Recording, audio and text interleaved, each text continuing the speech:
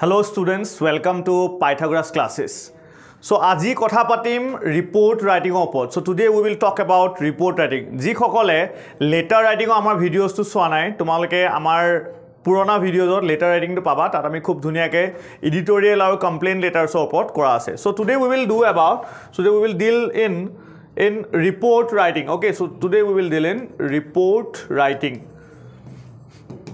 before going to report writing ইয়াৰ মই মাৰ্কছটো ক'ব বিচাৰিছোঁ the marks for report writing is ten marks কিমান marks ten marks okay many students are still confuse বহুতে ভাবে যে ৰিপৰ্ট অৰ জব এপ্লিকেশ্যন বা ৰিপৰ্ট অৰ লেটাৰ বহুতে ভাবি আছে যে যদি লেটাৰটো কৰোঁ তেতিয়া চাগে ৰিপৰ্টটো নালাগে অ'কে বাট তেনেকুৱা কথা নহয় you cannot escape from report writing তোমালোকে ৰিপৰ্ট ৰাইটিঙৰ পৰা পলাব নোৱাৰা এতিয়া শুনিবা এই বস্তুটোত মই এটা দেখাব বিচাৰিছোঁ ৰাইটিং স্কিলছৰ কথা মই দেখাব বিচাৰিছোঁ। ৰাইটিং স্কিলছত আমাৰ ট'টেল থাকে টুৱেণ্টি ফাইভ মাৰ্কছ চ' এইটো বহুত এটা ছিগনিফিকেণ্ট মাৰ্কছ বুলি মই ক'ম। বহুত এটা ডাঙৰ মাৰ্কছ হাণ্ড্ৰেড মাৰ্কছৰ পেপাৰ এখনৰ কাৰণে। টুৱেণ্টি ফাইভ মাৰ্কছ ৰাইটিং স্কিলৰ থাকে। এইটো মই আগতেও বহুতবাৰ কৈছোঁ টুৱেণ্টি ফাইভ মাৰ্কছটো কেনেকৈ ডিভাইড হয়। টুৱেণ্টি ফাইভ মাৰ্কছটো প্ৰথমতে letter or application ten marks তাৰপিছত আহে report or report ten marks advertisement notice আৰু poster this is for five marks so' see this এতিয়া তোমালোকক মই দেখাম যে ৰিপৰ্ট ৰাইটিঙৰ যে আছে ৰিপৰ্ট অৰ ৰিপৰ্ট এই দুখন ৰিপৰ্টনো কেনেকুৱা? ঠিক আছে এই দুখন ৰিপৰ্টনো কেনেকুৱা আহে? তো ইয়াতে চোৱা ৰিপৰ্ট ৰাইটিং ৰিপৰ্টৰ দুটা টাইপ থাকে। দ্য ফাৰ্ষ্ট পাৰ্ট ইজ ইয়াতে অৰ থাকিব। The first part is accident নহ'লে incident okay so' this is the first part or first type of report that comes in the exam দুইটা টেন মাৰ্কছৰ কাৰণে আহিব মাজত অৰ থাকিব। আৰু কেতিয়াবা কিন্তু একে টাইপৰো দিয়ে। তো এনেকুৱা নাভাবিবা যে অকল এটা টাইপ চাই গুচি যাম কেতিয়াবা কিন্তু একে টাইপৰো দুখন দিয়ে। আৰু ছেকেণ্ড যিটো টাইপ হ'ল সেইটো হৈ গ'ল চেলিব্ৰেশ্যন অ'কে চেলিব্ৰেশ্যন ৰাইটিং স্কিলৰ কাৰণে মই আগতেও কৈছোঁ the most important thing is তোমালোকে এইটো বস্তু চাব লাগিব যে দ্য ফৰ্মেট ইজ কাৰেক্ট তোমালোকে কণ্টেণ্ট ভিতৰত কি লিখিছা সেইটো ইমান বেছি মেটাৰ নকৰে বিকজ চবৰে পাৰ্চপেক্টিভটো বেলেগ হ'ব। এতিয়া মই যেনেকৈ ৰোড এক্সিডেণ্ট এটা দেখিছোঁ তোমালোকে হয়তো বেলেগ কিবা এটা ভাবিব পাৰা। বাট ফৰ্মেটটো আমি ৰিপৰ্ট ৰাইটিং আমি ৰিপৰ্ট ক'ত দেখোঁ নিউজ পেপাৰত ৰিপৰ্ট থাকে। চ' এই যিটো ফৰ্মেট ফৰ্মেটটো বহুত মেটাৰ কৰে। চ' ফৰ্মেটটো কিন্তু তোমালোকে ভুল নকৰিবা। ইয়াত চোৱা এক্সিডেণ্ট আৰু ইনচিডেণ্ট বুলি কওঁতে ইয়াতে কি কি থাকে আমি ইয়াত জানো যে কেনেকুৱা ধৰণৰবিলাক আহে এক্সামত ৰোড এক্সিডেণ্ট আহে। ট্ৰেইন এক্সিডেণ্ট আহে। ঠিক আছে? ইনচিডেণ্টত ফ্লাড আহে ফ্লাড ফায়াৰ আহে। দিছ ইজ আৰ এক্সাম্পলছ মই কোৱা নাই যে অকল এইখিনিয়ে আহিব জাষ্ট আমি শিকিম যে এনেকুৱা ধৰণৰ আহিলে কেনেকৈ লিখিব লাগে। চেলিব্ৰেশ্যনত এক বছৰ আহিছিলে শিল্পী দিৱস। এবাৰ শিল্পী দিৱস আহিছিলে।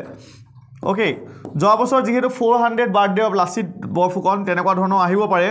World environment day world environment day আহে।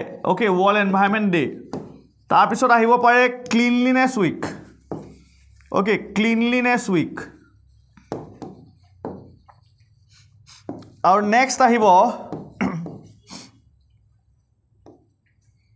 অ'কে চোৱা ক্লিনলিনেছ উইক আৰু ব্লাড ডনেশ্যন কেম্প এনেকুৱা ধৰণৰ বস্তুবিলাকো আহিব পাৰে। এইবিলাক চেলিব্ৰেশ্যনতে পৰে। Blood donation camp okay coming to the first one accident আৰু ইনচিডেণ্ট এইটোৰ ওপৰত আমি কথা পাতিম কেনেকৈ লিখিব লাগে। চোৱা তোমালোকৰ কুৱেশ্যনবিলাকত এটা এড্ৰেছ দিয়া থাকিব। You are Rita oblique you know' যিকোনো নাম আৰু ৰাহুল অফ নৰ্থ লখিমপুৰ বা ডিব্ৰুগড় বা গুৱাহাটী বুজি পালানে? যিকোনো এড্ৰেছ এটা থাকিব।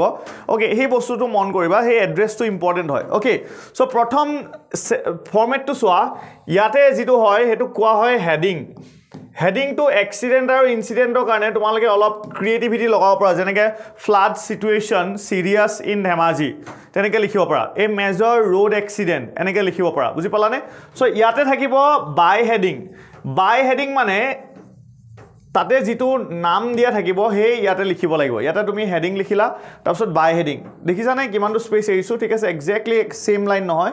তাৰ নেক্সট লাইনটোত লিখিব লাগিব বাই হেডিং বাই হেডিংটোত মানে বাই ছাপ'জ অলপ আগত ৰাহুল ক'লোঁ বাই ৰাহুল ল'ৰাবিলাকে লিখিবা। ছোৱালীবিলাকে ছাপ'জ বাই ৰীতা বুজি পালা নে? By Rita road accident by Rita বুজি পালানে? জাষ্ট মই বুজাই দিছোঁ এক্সাম্পলত road accident major road accident ইয়াত আহিব বাই ৰীতা অ'কে ইয়াৰ পিছত চোৱা এই লাইনটোৰ যিটো নেক্সট লাইন হ'ব this will be the first first paragraph আমাৰ ষ্টাৰ্ট হ'ব। ইয়াতে হ'ব place comma date this is the format আৰু এই বস্তুটো আকৌ এবাৰ কৈছোঁ ইয়াতে ডট ডট থাকে। ঠিক আছে? ইয়াতে কিছুমানে এনেকৈ কৈ দিয়ে এইবিলাক নকৰিবা। অ'কে কিছুমানে তো এনেকাই কৰিবা। অ'কে প্লেচ কমা ডেট মানে নৰ্থ লখিমপুৰ ডেটটো হ'ব যিদিনাখন তোমালোকৰ এক্সাম থাকিব সেইদিনা ডেট এইবাৰ যিহেতু বাৰ তাৰিখে এক্সাম টুৱেলভ ফেব্ৰুৱাৰী ঠিক আছে two thousand twenty four okay so' this is it আমাৰ ফাৰ্ষ্ট লাইনটো ৰিপৰ্টৰ কোৱা হয় ইণ্ট্ৰডাক্টৰী লাইন এইটো ইয়াৰ পৰাই লিখিব লাগে। বহুতে কি কৰে এই ফাৰ্ষ্ট লাইনটো এৰি দিয়ে আকৌ ইয়াৰ পৰা লিখে। ন নিউজ পেপাৰ তোমালোকে দেখিছা ন? প্ৰথমৰ পৰাই ষ্টাৰ্ট কৰি দিয়ে। এই লাইনটোক কোৱা হয় ইণ্ট্ৰডাক্টৰী লাইন তাৰমানে তোমালোকে যিকোনো এটা ইণ্ট্ৰডিউচ কৰিব লাগিব এই ৰিপৰ্টখন তাৰমানে ছাপ'জ এক্সিডেণ্টৰ কথা ক'লোঁ। তোমালোকে লিখিবা যে road accidents are seen to be very common these days বুজি পালানে? এনেকৈ ইণ্ট্ৰডাকশ্যন লাইন এটা দিলোঁ। ছাপ'জ ফ্লাডৰ কথা লিখিলা। ফ্লাড তোমালোকে ইণ্ট্ৰডাকশ্যন লাইনটো কেনেকুৱা হ'ব? Flood is a never ending problem in a place like Assam বুজি পালানে এনেকৈ ইণ্ট্ৰডাকশ্যন লাইনটো দিবা চ' ফাৰ্ষ্ট পেৰেগ্ৰাফটোত কি হ'ব this is the first paragraph okay ইয়াত তোমালোকে হুৱেন আৰু হোৱাট আনচাৰ কৰিব লাগিব তোমালোকৰ ৰিপৰ্টখনৰ word limit one twenty five words বুলি কয়। ঠিক আছে তাৰমানে তোমালোকে you can maximum go' to one forty words তাতকৈ ওপৰত নাযাবা। হুৱেন আৰু হোৱাট মানে তোমালোকে লিখিলা যে যোৱাকালি ঠিক আছে yesterday at around two P M a major road accident took place ঠিক আছে নিয়েৰ আমুক আমুক আমুক প্লেচ দিলা বুজি পালানে? এনেকৈ দিলা য'ত বহুত মানুহ ঢুকালে বুজি পালানে? দুজন মানুহ বোলে স্পটত ঢুকালে আৰু আৰু বাকী মানুহে দুখ চুখ পালে বুজি পালানে? এনেকৈ লিখিলা বুজি পালানে? আৰু এক্সিডেণ্টটো কেনেকৈ হ'ল? বোলে head to head collision between between Alto' আৰু বোলে এখন টাটা চাফাৰী বুজি পালানে? খুদিয়ালে। অ'কে নেক্সট যিটো পেৰেগ্ৰাফ হ'ব এই পেৰেগ্ৰাফটোক কোৱা হয় হাও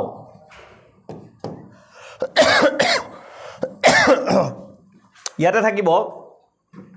Okay pardon me for the cough ঠিক আছে অলপ কফ হৈ আছে সেইকাৰণে কাহা কাঢ়িবলগীয়া হৈছে। অ'কে হাউটোত কি হয়? হাউটোত জেনেৰেলি এক্সিডেণ্টটো হোৱাৰ পিছত আমি সকলোৱে এক্সিডেণ্ট দেখিছোঁ। এই ৰিপৰ্টৰ কাৰণে বেষ্ট কি জানানে? তুমি নিজকে সেই চিটুৱেশ্যনত প্লেচ কৰি ল'বা। তুমি দেখি আছা। এক্সিডেণ্টটো আমি চবেই জানো যে ড্ৰাইভাৰটো পলাই গুচি গ'ল গাড়ীখন কমপ্লিটলি ভাগি গ'ল দুটা মানুহ স্পটত মৰিলে বাকী যিসকল মানুহ দুখ পাইছিলে তেওঁলোকক জল্দি মানে লোকেল মানে মানুহবিলাকে ফাৰ্ষ্ট এইড দিলে তাৰপিছত যিকেইজন ছিৰিয়াছ হস্পিটেলত এডমিট কৰি দিলে বুজি পালানে তেনেকৈ আৰু? অ'কে অলপ পিছত পুলিচ আহি পালে ইনভেষ্টিগেট কৰিলে বুজি পালানে? তো পিছত গম পোৱা গ'ল যে the driver of the you know' Tata safari was high on alcohol ঠিক আছে which can be the major reason for the accident আৰু মানুহে উইটনেছ কৰা মতে এইটো কথা কোৱা হৈছে যে বহুত বেছি অভাৰ স্পীড ৰিডিং আছিলে বুজি পালানে? চ' দিছ ইজ হাও কেনেকৈ কি কি হ'ল বুজি পালানে? এইবিলাক বস্তু ইয়াতে আহিব।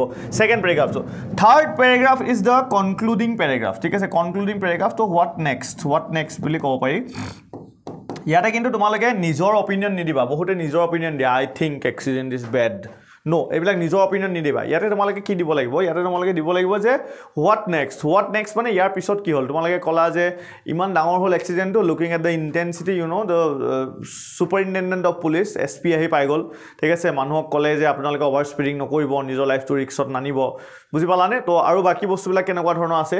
তোমালোকে ক'ব পাৰা যে এতিয়া তেওঁ কচন চাইন্স লগাব দিছে গোটেই ডিষ্ট্ৰিক্টত যাতে এক্সিডেণ্টছবিলাক কমে। অ'কে চ' এই বস্তুবিলাক আমি ক'ব পাৰোঁ। Okay so' this is what when আৰু হাউ অ'কে আৰু হোৱাট নেক্সট ইয়াৰ পিছত কি হ'ল? So' this is how report looks like ঠিক আছে? ৰিপৰ্ট এক্সিডেণ্টৰ ইঞ্চিডেণ্টত তোমালোকে তিনিটা পেৰেগ্ৰাফত লিখিব লাগিব। কেইটা পেৰেগ্ৰাফ তিনিটা paragraph three paragraphs okay so' this is it এতিয়া বাকী যিবিলাক আছিলে তাৰমানে কি আছিলে? অ'কে চেলিব্ৰেশ্যন চেলিব্ৰেশ্যনৰ কথাটো ক'বলৈ বিচাৰিছোঁ। চেলিব্ৰেশ্যনৰ এইখিনি চব একে থাকে but you can write it in two paragraphs also' তোমালোকে দুটা পেৰেগ্ৰাফত পাৰিবা ঠিক আছে? দুটা পেৰেগ্ৰাফত পাৰিবা শেষ কৰিবলৈ কেনেকৈ চোৱা? এইখিনি চব ছেইম অ'কে তো এইটো লিখিলা। তাৰপিছত এইটো লিখিলা ঠিক আছে? তাৰপিছত চেলিব্ৰেশ্যন এতিয়া চেলিব্ৰেশ্যনৰ কথাটো কওঁতে বহুতৰ এনেকুৱা থাকে ৱৰ্ল্ড এনভাইৰমেণ্ট ডে দেখাৰ লগে লগে ভাবিবা যে অ' মইতো একো নাজানো ৱৰ্ল্ড এনভাইৰমেণ্ট ডে শিল্পী দিৱস শিল্পী দিৱস দেখিলা তাৰপিছত ভাবিলা যে আচ্ছা শিল্পী দিৱসৰ কথাটো মই একো নাজানো একো জানিব নালাগে। একো নাজানিলেও তুমি হ'ব। তুমি এইটো ৱৰ্ল্ড এনভাইৰমেণ্ট ডেটো যে এনভাইৰমেণ্টৰ লগত ৰিলেটেড জানিলা শিল্পী দিৱসটো যে শিল্পীবিলাকৰ লগত জড়িত ঠিক আছে? তেওঁলোকৰ লগত যে জড়িত সেইটো গম পালা ইটছ এনাফ এই বস্তুটো চাবা কি হয় তাৰমানে কিছুমান প্ৰগ্ৰেমত কি হয় ছিৰিজ অফ ইভেণ্টছ থাকে এইবিলাক চব কমন থাকে। যেনেকৈ প্ৰত্যেকটো প্ৰগ্ৰেমত আজিকালি কি হয় ৰাতিপুৱা ক্লিনলিনেছ ড্ৰাইভ এটা হয়। এইটো অকল ক্লিনলিনেছ উইকতে নহয়। সাতটা বজাত স্বচ্ছ ভাৰত অভিযান লাগি যায় ঠিক আছে? চবেই ইউ ন ৰাতিপুৱা সাতটা বজাতে আহিব তাৰপিছত চুবুৰীটো ধুনীয়াকৈ ক্লিন কৰিব। তাৰপিছত চিফ গেষ্ট চবতে মাতে হয়নে? চিফ গেষ্ট চবতে মাতিব। তাৰপিছত কি? তাৰপিছত গছপুলি আজিকালি ৰোৱাটো চবেই চবতে ৰোৱে ঠিক আছে? গিফ্টটো দিয়ে গছপুলি ঠিক আছে? তোমালোকে দেখিছে আজিকালি ফ্ৰেচাৰ্ছবিলাকতো দিয়ে। তাৰপিছত আৰু তাৰপিছত কম্পিটিশ্যনছ পাতিব এছ কম্পিটিশ্যন পাতিব চিফ গেষ্টে লেকচাৰ দিব হয়নে? লাঞ্চ চবতে হয় বা ইউ ন বাকী কম্পিটিশ্যনবিলাকৰ এৱাৰ্ড চবেই দিয়ে বুজি পালানে? এই বস্তুবিলাক ৱৰ্ল্ড এনভাইৰমেণ্ট ডে'টো হয় শিল্পী দিৱসতো হয় ক্লিনলিনেছ উইকতো হয় যেনেকুৱাই যি নহওক হয়। অ'কে ফাৰ্ষ্ট পেৰেগ্ৰাফটো একো same it will be when আৰু হোৱাট কি পাতিলে কেতিয়া পাতিলে ঠিক আছে? আৰু কোনে পাতিলে সেইটোতো তোমালোকে ইয়াত লিখিয়ে দিবা ঠিক আছে? তো ইয়াতো ইণ্ট্ৰডাক্টৰী লাইন এটা দিবা। আৰু তাৰপিছত তাৰপিছত চোৱা নেক্সটটোত হাও কেনেকৈ পাতিলে? সেইটো জানিলে তোমালোকৰ এইখন ৰিপৰ্ট কমপ্লিট হৈ যাব ওৱান আৰু two okay so' this is দুটা পেৰেগ্ৰাফত এইখন ৰিপৰ্ট শেষ হয় okay so' this is it report writing তো report writing is very important আকৌ এবাৰ মই কৈছোঁ because you cannot escape from report writing তোমালোকে নাভাবিবা যে মই লেটাৰখন কৰি ল'লোঁ সেইকাৰণে ৰিপৰ্ট ৰাইটিং নকৰিলেও হ'ব। লেটাৰ ৰাইটিঙৰ অলৰেডি আমি ভিডিঅ' বনাইছোঁ তো তোমালোকে ৰিপৰ্ট ৰাইটিং ভালকৈ চাই ল'বা। যদি বুজি নোপোৱা আৰু এবাৰ ৰিৱাইণ্ড কৰিবা। And please comment and support us আমাক আৰু অলপ এনকাৰেজ কৰিবা যাতে আমি আৰু এনেকুৱা ভাল ভাল কণ্টেণ্ট লৈ তোমালোকৰ ওচৰত আহিব পাৰোঁ। Thank U